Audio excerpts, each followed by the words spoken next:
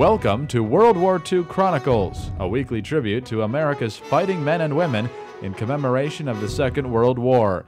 These programs are narrated by Ed Herlihy and are based on the news broadcasts of the war period from the recorded sound collection of the National Archives in Washington, D.C.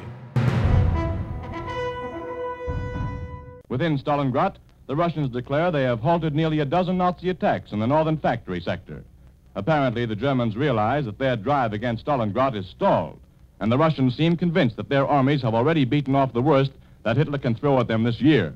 Winter is settling over several sectors, and in other regions, the autumn rains have made it difficult for the Nazis to bring up men and supplies.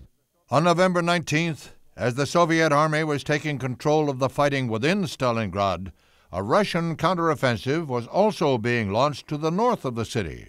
Marshal Timoshenko's counteroffensive, 60 to 70 miles northwest of Stalingrad, is making steady progress southward, and five more enemy strongholds have been captured.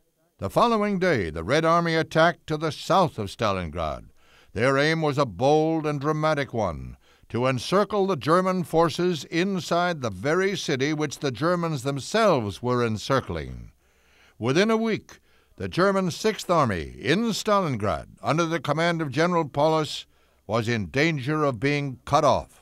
The two pincer arms above and below Stalingrad are advancing as much as 25 miles a day.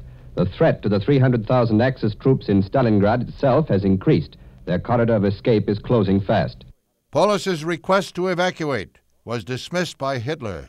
The general was to turn his position into Fortress Stalingrad. Hitler promised him the encircled army would be supplied through the air. The German army trapped on the open plain between the Don and the Volga must be exterminated. This could take a short time if the Germans were inclined to surrender. But Germans rarely surrender as long as they have food, ammunition, and shelter. But that's exactly what they will not have on the bleak steppes.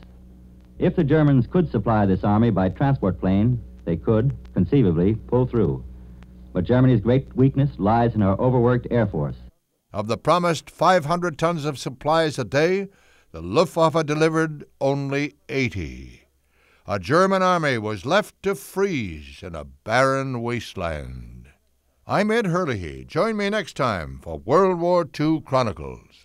World War II Chronicles was produced by the American Veterans Center and Radio America in cooperation with the National Archives. To listen to more episodes, subscribe on iTunes or visit AmericanVeteransCenter.org. We need your help to keep the legacy of our World War II generation alive.